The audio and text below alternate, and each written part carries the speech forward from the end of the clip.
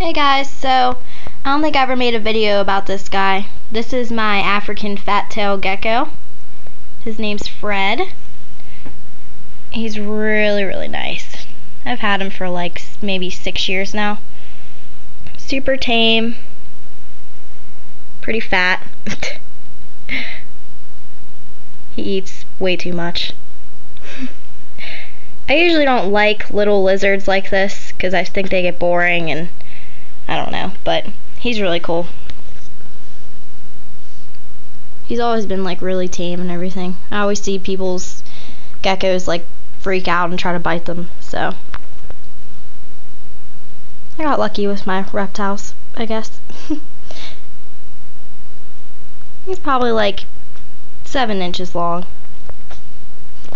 You need to go on Weight Watchers.